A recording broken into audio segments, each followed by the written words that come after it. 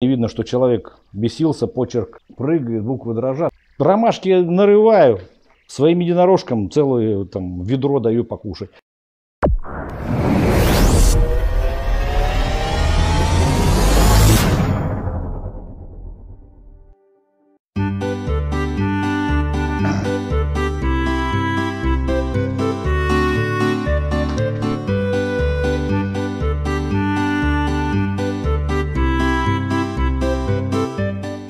Физкульт, привет из берлоги. Приближается хороший, теплый, классный праздник Новый год. Время подарков и поздравлений. В связи с этим коллектив компании Tech Russia поздравит вас, естественно, всех с Новым годом и приготовит кучу подарков. Но подарки не раздадут всем просто так, их надо будет выиграть. Поэтому следите внимательно за следующими видео.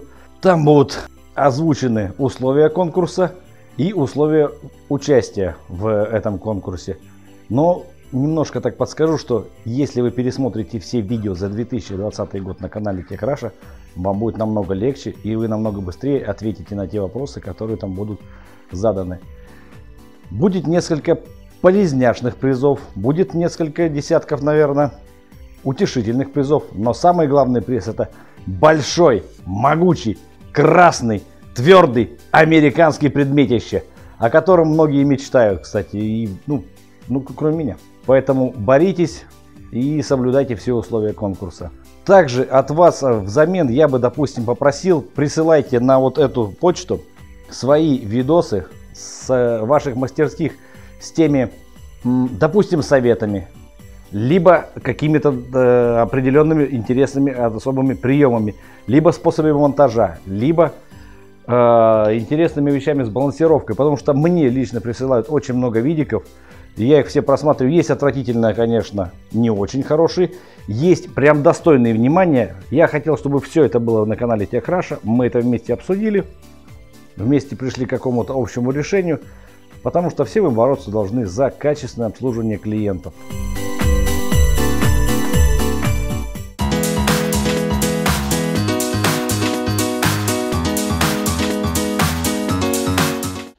Физкульт, привет из берлоги. Питер прислал мне несколько, немножко вопросиков от э, наших подписчиков, на которые, соответственно, мне придется ответить, естественно. Вопросов немножко, поэтому видео будет коротенькое. Как у вас, кстати, прошел осенний сезон, очень интересно. Пишите, расскажите, что интересного и нового почерпнули за этот э, за эту переобувку, потому что я знаю, что каждый сезон всегда какая-то новая фишка прилипает, к чему-то новому приходит. очень интересно, что вот в этом году, что вы почерпнули. Поехали по вопросам. Можешь рассказать отличия холодной и горячей вулканизации? Допустим, Росвик холодные и горячие. Нахера? Протек все понятно, у них все универсально. Ну, Протек всем все понятно. Наверное, все-таки лучше, чтобы все это выяснить, э, узнать надо это у производителя. Насколько мне известно, то есть существует. Разговор идет все-таки о холодной и горячей вулканизации пластырей к каркасу шины, естественно. Э, у Тека там за пластыря все универсальные, то есть на один и тот же цемент я могу привулканизировать их на холодную, могу привулканизировать на горячую. Это и есть э, одно из преимуществ, кстати, тековского материала, потому что мне не приходится держать отдельно коробку там с горячими пластырями, отдельно коробку там с холодными пластырями и ждать этого от неба случая, когда мне это пригодится, либо это пригодится, и радоваться, что наконец-то это быстрее я использовал, что у него срок годности подошел, либо холодные пластыря. Насколько я знаю, то есть у других производителей подразумевается под горячую вулканизацию, то есть э, специальный цемент под горячую вулканизацию, специальная пластыря под горячую вулканизацию. И все это происходит одноэтапным методом, все, э, ремонт.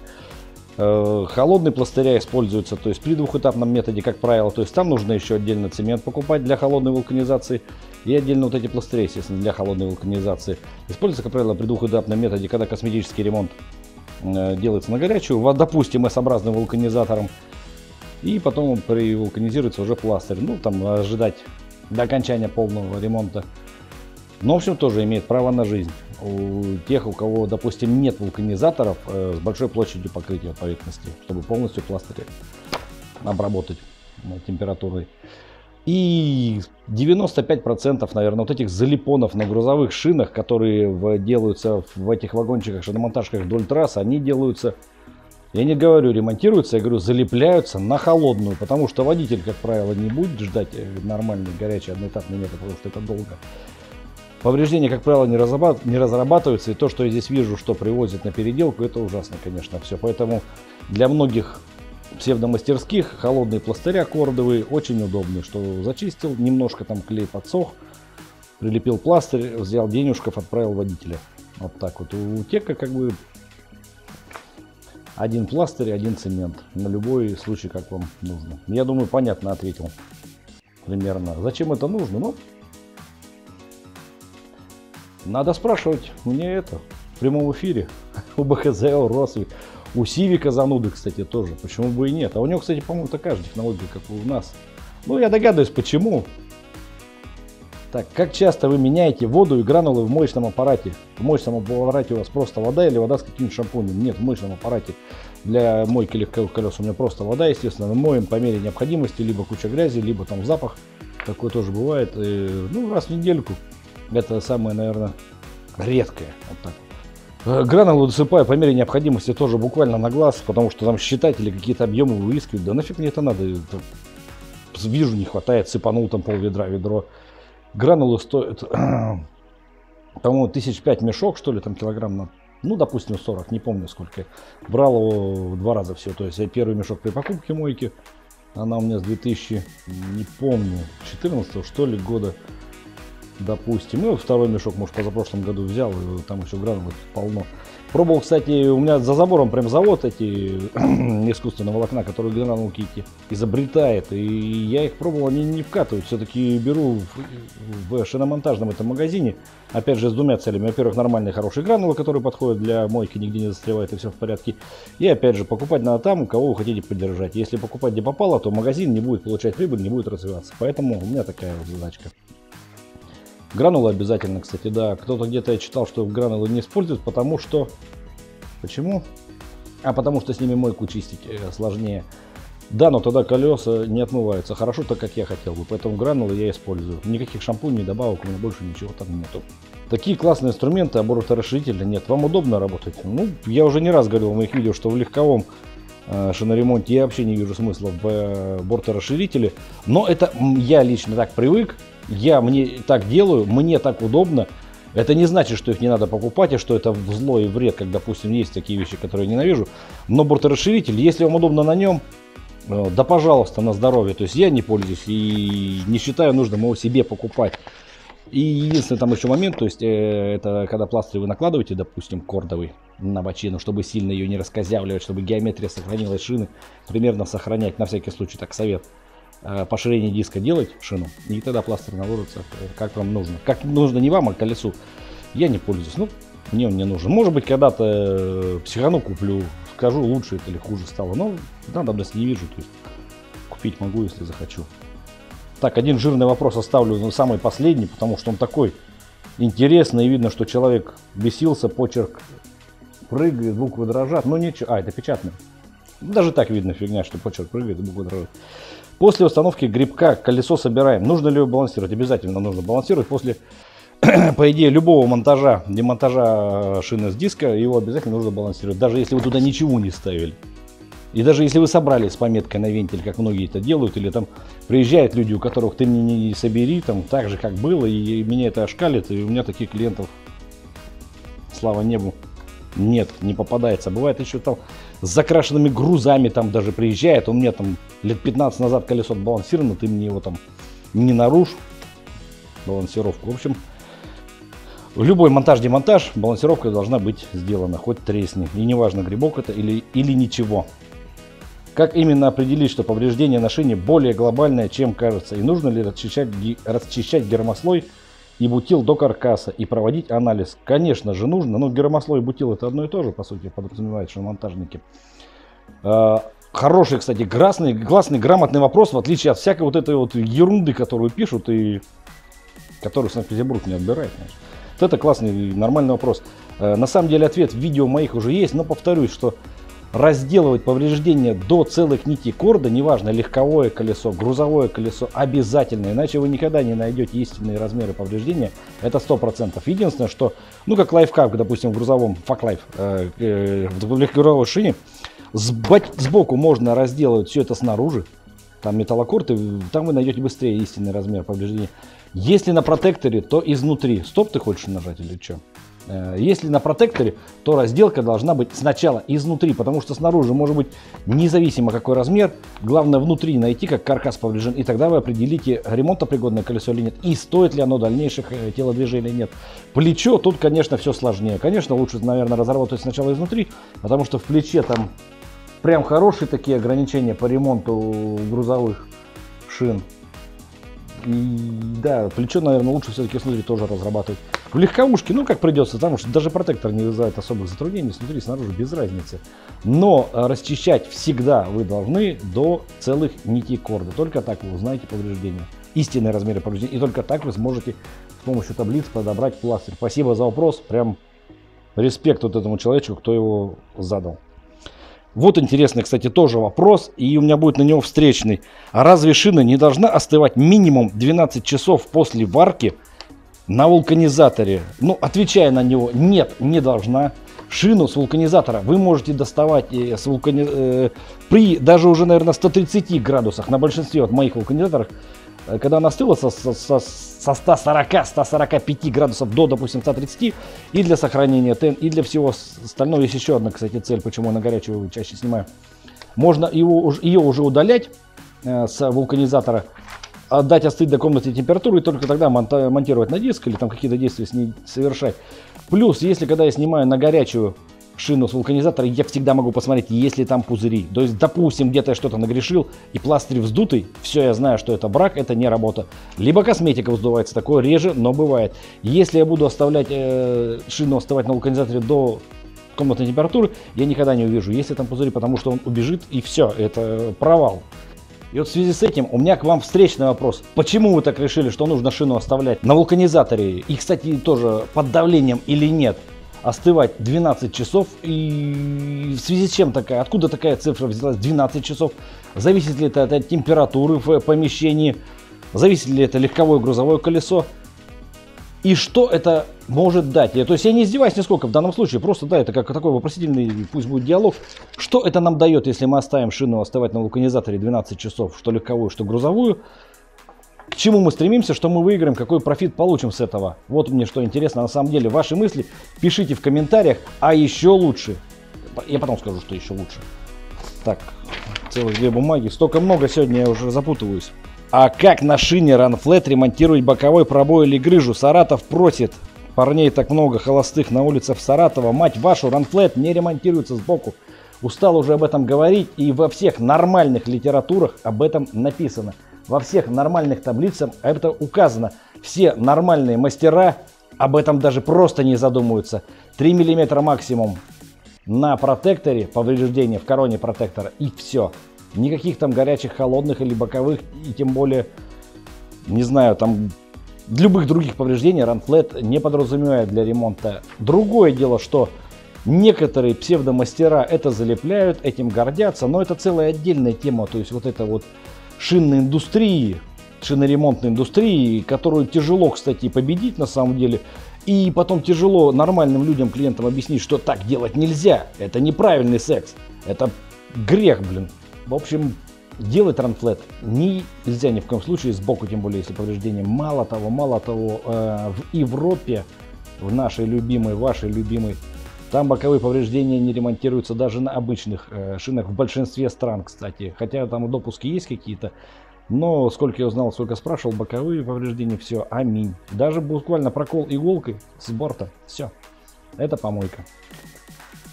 Поэтому про ремонт ранфлет забудьте. Нет денежков у человека на новый ранфлет. Пусть ждет и зарабатывает. Не берите на себя вот эту тренировку мозговую. Так, расскажите про ваш компрессор, пожалуйста. На что главное обратить внимание? Я сейчас, наверное, не буду ничего рассказывать про компрессор. Вопрос, кстати, тоже хороший. Посвятим это отдельную целое видео, которое э, расскажу все, что знаю, все, что я сталкивался с этим. Этот, понятно, компрессор слишком жирный даже для грузовой просто шиномонтажки. Это потому, что мы тут ГГШ много-много делали, поэтому он мне нужен. Мне, допустим, нравится. Вот у этого производителя, кстати, где-то чуть меньше полтора куба, там куб 4 на выходе с давлением до 14 я сбросил самое минимальное, до 14 бар в системе. И запускается он на 8,6. Вот, наверное, самое главное, какие параметры для грузового монтажа. Допустим, э, чаще всего колеса качаются, ну, там 8-9 бар, а компрессор запускается у многих на 6-7. И вот это вот, то, что воздух надо скидывать, чтобы компрессор завелся, завелся быстро подбежать к колесу, накачать успеть, пока компрессор качает и все это давление, это такая беготня тренировка. То есть первым делом, если грузовой у вас шиномонтаж, я бы обратил внимание на э, точку, на давление, при котором компрессор запускается. Чтобы вы, допустим, 9 бар, если надо человеку, вдруг колесо, значит запускаться он должен, допустим, с 9,4, 9,5, чтобы вы нормально, без проблем, без всяких тренировок, без мозга этих усилий, должны, ну, смогли накачать нормально колесо обычному грузовику, любому. В легковом, ну, тоже производительность, конечно же, важна. Вот мойка колес, это жрет очень много воздуха, намного больше, чем даже пневмодели, все такое. То есть, ну, я думаю, этому видео посвящу, этой теме посвящу я отдельное видео. Плюс вот эта тема, как бы, на метр, когда пропадает давление. Ну, посмотрите, сколько у меня шлангов, сколько пластиков, вот этих труб. И если кто-то мне говорит, что на один бар падает на одном метре давление, ну, блин, ну, у меня там, говорю, вакуум на концах должен э, создаваться, и эти гайковерты все всасываться в шланги. Ну, бред полнейший. Другое дело, да, пропускная способность всех этих фитингов, всех труб и все такое. Но еще важнее, самая главная тема, это фильтра. Вот фильтров, наверное, я коснусь. Я наконец-то, ой, не знаю, пару недель посвятил вот этим иностранным сайтам англоязычным, чтобы, чтобы всю эту азотную тему раскачать. Узнавал у своих коллег, слава богу, они тоже идут на контакт. Они плохо говорят по-английски. Ну, если честно, я плохо понимаю по-английски. Более-менее информацию я добыл. Э, азотную тему для себя закрыл. С вами, я думаю, что поделюсь. Посмотрим, как у меня будет настроение. И сколько вы мне там задонатите на новую зимнюю резину. Вот. И эту тему, да, я сделаю. Тему сделаю. Тема интересная, обширная, и, кстати, для многих, э, кто серьезно относится, опять же, к своей работе, актуально. Кто не серьезно относится, вообще пофигу, что вы там думаете. Но, допустим, я бы рассматривал на данном этапе, чтобы быстро закрыть этот вопрос, как минимум LB75, по-моему, Ремеза есть компрессора, белорусские очень мне нравятся компрессора, там э, они миксованные с Германией, с Россией, что-то там. А вот Ремеза LB75 это минималка, то, что я хотел бы видеть в мастерской. Хватает на все работы, по сути. Если денежка естественно, побольше, допустим, LB100, я могу то ли LT, то ли LB, не помню буковки, будет лучше LB, там, LT100. Ну вот зато они просты в обслуживании. Фильтра всегда в наличии, масла всегда в наличии, все там всегда работает. Проводки не забывайте, чтобы электрик, электрикам тоже по башке надо давать, тоже народ такой. Подтягивали, протягивали от вибрации, и он будет работать практически вечно. Практически вечно. Так, э, я человек не следующий, но хочу спросить, почему не срезать участок повреждения на шине регруверов? Там и заглубление ступенчато можно сделать. Очень интересный вопрос. И, кстати, отвечать на него можно долго и несколько дней, наверное. Но другое дело, что я думаю, человек просто издевается, а Питер специально издевается надо мной. Они же культурная столица, я же не могу их поругать матами. Или могу? Или не могу? Могу. Наверное, могу. Так вот, насчет, э, почему участок не срезать на шине регрувером. Во-первых, потому что сразу поверхность будет слишком главное, гладкая и подгоревшая, не будет никакой шагрени, сырая резина за нее не зацепится никогда. Она так и будет. Во-вторых, то, что ступеньками там нарезать, где? В протекторе ступеньками – и сделать воронку вот эту вот круглую, как мы в детстве вот этот шарик по пирамидке закатывали, который так... Э, ну, наверное, это надо целую, целую профессию пирамидка-резателя заводить в шиномонтажной вот мастерской. Если сбоку, то там глубина резины не такая большая, чтобы делать ступеньки. Но отбрасываем вот эту всю тему. Допустим, мы удачно все нарезали ступеньками. Как тогда навести шагрень вот на всех этих уголках, внутренних углах, наружных уголках? И даже если будет там куча времени, кучу денег э, человек платит за то, чтобы мы вот так тренировались, мы навели шагрень, мы сделали ступеньки, вся работа вот этой геометрической фигурки будет вот прямо отторгать всю эту косметическую массу резины нафиг наружу. Поэтому чашкообразный вырез – не забываем золотое сечение, числа Фибоначчи, погуглите, что эта тема. Мне эта тема очень нравится и стараюсь ее придерживаться. Так она дает более э, нормально подходящую и, э, скажем, доброкачественную поверхность и по геометрии, и по шершавости с косметической резиной, чтобы поджениться. Вот для чего все это надо. Ну и теперь самый такой интересный вопрос. Шинка видно только для видосов существует, раз столько оборудования и все чисто, и времени для видео есть. Тут каждый день, как белка в колесе, крутишься, спецовку стираешь каждый день, хотя и мойка колес есть, а времени поесть нету. Покажи свой рабочий день. Вкратце, сколько у тебя клиентов. Ну, вкратце, я имею в виду, тут написано, наверное, вкратце. Вкратце, сколько у тебя клиентов и как ты их обслуживаешь. Как колеса снимаешь на гнилые машинах или с которыми мучаешься по полчаса, у которых диск прикипел. Очень хочется увидеть, а так все слишком просто и красиво. Ну, доля правды в этом есть, конечно. Э, с утра, когда прихожу, утро у меня начинается где-то часов в 12 дня, то есть многие люди уже пашут там часа 4, я прихожу в 12, то есть мы открываем шиномонтажку. Я там э, ромашки нарываю, своим единорожкам целое там ведро даю покушать. Если время и желание есть, пошел херовимчиком, настроил все вот эти харвы, арпы, сидят, играют. Ну и все в таком духе. Потом приходят эти, которые люди, такие вот индийские танцовщицы, накладывают мне грим, съемки. Все, я устал, день закончен. Примерно так и происходит мой рабочий день. Колес мы тут не видим, это все бутафория папье-маше. Станки, честно говоря, не помню у кого отобрал, но было трудно, но забрал все. Только по каталогам все выучился, ничего знать не умею. И вот снимать мне некого, клиентов нет, всех ненавижу, все такое. Ну а вечером опять, то есть, э, кормлю единорожков, рассаживаю по полочкам всех херувимчиков на ночь. Все, рабочий день закончен, и с удовольствием жду следующий день, чтобы начать там с утра опять снимать. Только этим я и занимаюсь. Все. А станки чистые, потому что мы не работаем. Никогда не обманывайте клиентов. Всем пока.